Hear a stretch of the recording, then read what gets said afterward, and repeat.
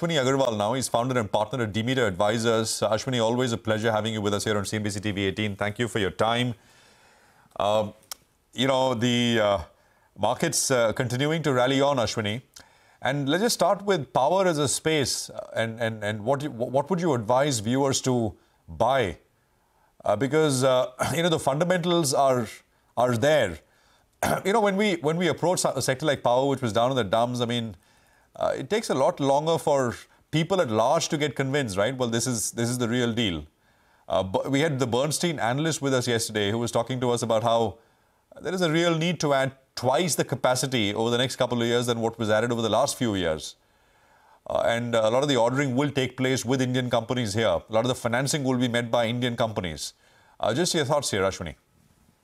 Morning, Prashant. Thank you for having me here. Um, so you rightly pointed out that you know this is a sector which was down in the dumps, and it's taken a while for people uh, to to kind of uh, realize that there is a real opportunity out here. And I think what many of us uh, miss is the fact that uh, the amount of time we all spend on social media or looking at uh, our uh, Instagram pages or Facebook, you know, whatever else you're doing, YouTube uh, videos and so on and so forth, and uh, the these these engines they're trying to curate uh, the content for you using artificial engine, um, uh, artificial intelligence engines that in the background. They all of this consumes a whole bunch of power. Um, and the data centers uh, in, uh, in, the, in the United States already account for, I'm told, about 8% of the power consumed in uh, the United States. And I would imagine that it would be no different uh, from uh, what happened, what will happen in India, or what's probably already happening in India. So obviously, the the demand for electricity is growing at a very rapid clip in India. In addition to connectivity uh, that has been brought about by the government and uh, uh, demands for air conditioning, home appliances, and uh, what have you. So yes, it's a it's a it's a situation we all missed it, or, or, or at least I can say I missed it. Uh, three years ago, four years ago, uh, to to look at this broad trend. So and and your question is, what does one do now? Um, I think you know maybe some of the large utilities is uh, is is a way where valuations still appear to be okay, but in a lot of the distribution space or distribution infrastructure, machine manufacturers, uh, in my view, are now trading at multiples which are kind of uh, very demanding in my perspective. Uh, so I think you know, yeah, I'm looking at the past, thing. I missed it, uh, but I'm not likely uh, to to do anything about them at this point because valuations are quite punchy. Yes, there'll be earnings growth, but we must remember that you know at the end of the day, when you are paying a very high multiple, you're paying for multiple years of cash flow, and you're paying a fancy exit a multiple as well uh, beyond your visible horizon of three years or five years. And these are cyclical uh, asset creators. So you know you might have a very good run for three or four years and after that what uh, the question will arise again so yeah i mean momentum is there uh, with good reason but i'm not the one to participate here Okay. uh, you know, I, I guess it takes a brave heart to say that in this market, Ashwini. Great to be speaking with you.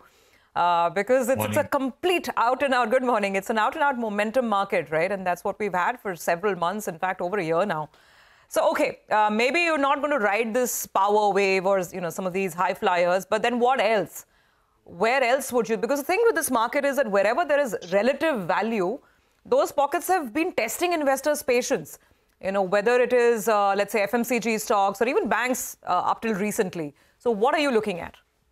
So surabhi great question. And you know let's go back to you know the two big bull markets in our, in my lifetime at least which is 2000 2008 and partly let's say 2017 okay? Now in 2020 uh, 2000 rally if you had purchased you know any of the industrials or any of the banks even as the IT stocks were having a roaring bull run you would have come out way ahead uh, on a three-year basis or a five-year basis. Okay, if you look at the returns between even 99 to 2004, forget 2000 to 2004, you would have come out ahead if you had bet against the crowd.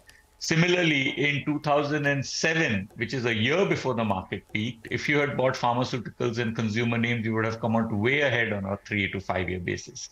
what I'm trying to say, and it's in a very, uh, it's, it's how at least I think that it's very important uh, to kind of let go of what is trendy and what has momentum and look for value. And value lies in cash flows and value lies in relative uh, valuations. Uh, so this is the time to actually be buying large caps. Uh, you know, like you mentioned, several of the banks have barely done anything. A lot of the insurance companies have barely done anything. And these valuations are reasonable. I mean, they're not expensive. These are market leaders generating a ton of cash. Um, so you know why why not buy buy these companies? Uh, there is bottom-up opportunity in several industrial areas, in consumer stocks on a bottom-up basis, which look good. Pharmaceutical, healthcare looks good. So all I'm saying is that look, you know, when the market is in such a frenzy, you've got to do two things. One is look for out of favor large caps market leaders, and number two is dig deeper but be very careful where valuations on a historical basis are trading at significantly above long-term median historical numbers. That's that's what I would say. All right, Hi, Ashwini. Good morning. Good to see you. Uh, morning, in, uh, uh, you know, that's an interesting point uh, you make. What about the other large cap uh, part of the index? That is the IT space. Suddenly, yeah. you're getting these sound bites that maybe quarter one is going to be the quarter from where we see an uptrend there's plenty of interest and the stocks are not trading particularly cheap. If I get the number correct, you know, the IT index itself, all the stocks out there, they're trading at around 28 times, which is a 20% premium in comparison to what they've traded on, say, for the last five years or so. And it's at a big premium in comparison to what the Nifty is trading at as well. But your view yeah. on the tech space, there seems to be plenty of interest out there, and the street is bracing for positive surprises. So, uh, Nigel, you know, I've been watching the IT sector for the last two years, hoping uh, to build a conviction to be able to buy, but each quarter has come and gone, um, and I haven't been able to build the conviction. I mean, if you read between the lines, um, the the amount of effort uh, it takes to grow revenues and to grow uh, grow margins uh, is just stupendous, and it's not happening. It's happening in a few pockets, maybe one or two stocks, uh, and it's happening in the smaller companies, but it's not happening with the leaders at all. Uh, so I'll wait to see what this quarter delivers and if the commentary meaningfully changes. Like you pointed out, the stocks are not cheap; they're expensive, um, and growth is not for certain.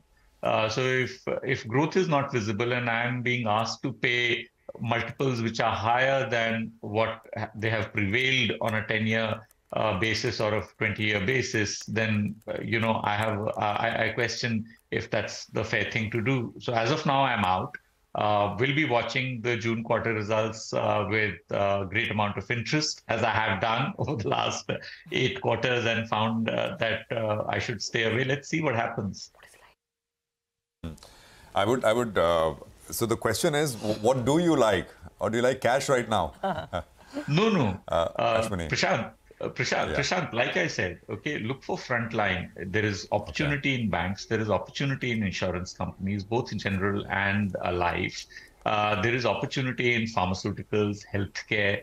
Uh, there's opportunity in a whole bunch of mid and small caps, but you got to dig deeper. Uh, all I'm saying is that what the 2000 and 2008 crash have taught me is that if there is a certain bubble forming in a certain area of the marketplace, you can never say how large the bubble is going to get. But you are better off uh, out early than waiting for the top. That's all that I'm saying. So I'm saying that, look, I'm not the one to be investing in power or energy or defense uh, or railways at this point in time. But there are other opportunities. So, yeah, I mean, one does have some cash allocation in the portfolio as uh, always. Uh, but it's nothing out of ordinary right now because uh, you know the the whole environment is uh, quite positive for India. So to expect that the market will correct and everything is very expensive, that's not fair. That's not right. But there are pockets, and I I, I think uh, I'm quite candid in sharing you know where I find those pockets. Mm. You use the B word, Ashwini, the B word, bubble, right? Uh, yes. I think most people are very hesitant in using that. It, has been, you know, kind of circling in my own head as I look right. at the market because I don't think in our careers, uh, I'm sure Prashant would concur that in our careers that we've seen this kind of domestic money pumping in the market on a daily basis, right? So I don't know. When we talk about risks ahead for the market, and I, don't want to be a bear over here, but uh, just asking the question uh, is there a domestic liquidity bubble in the making, and is that a risk? Yeah, that could be a risk. Uh, you know, Surabhi, if you go back and look at the history of markets in Japan and the markets in the United States, when in the United States, when 401k started to participate in the equity market, uh, you know, it led to decadal long, long bull run. Similarly, in Japan, um, and valuations became really, really expensive before they fell off. So, so I don't know how, how large this bubble will get. So you're right. I mean, there, there is domestic investor, there is demand from provident funds, from retirement funds, from pension funds, from uh, insurance companies. Even if investors are um, uh, you know, not directly allocating, even where investors are not directly allocating, their savings are being put to work in the equity market via these indirect uh, um, uh, assets that uh, that they own or they have a right to receive uh, in the future. So, so, so you're right. There is a huge amount of money flow, but we are also starting to see a fair amount of paper flow. Um, I mean, earlier in the show, you were talking about ITD cementation. I mean, I don't have the stock, I don't own the name, but it's interesting that the promoters want to sell shares. I mean, over the last week, you see the number of uh, block deals that have happened where private equity players, um, uh, promoters, and various other people have sold down because you know markets are expensive, even in their view, because they must be looking at their own business, saying, "Look, it's not worth what the market is willing to pay for it from a long-term perspective. So we are better off taking some cash home, uh, de-risking, or whatever you call it." So, so my point is exactly the same. My point is that yes, there is a huge amount of liquidity flow, and we cannot, for the life of us. Uh, Uh, you know, estimate how long this will continue and how high the market will go. But on a relative basis, the only way to, only sensible way, in my view, to play this is to buy areas which are not expensive, which will participate in the economic growth. But you know, you're staying with market leaders, you're staying with out of favor, somewhat out of favor stocks. So you know, if the chips were to fall, you hurt less. That's all. All right, uh, thanks a lot for stopping by and filling us in with your take on the markets as well as stocks and sectors that you do like. Well, time to move on then. Let's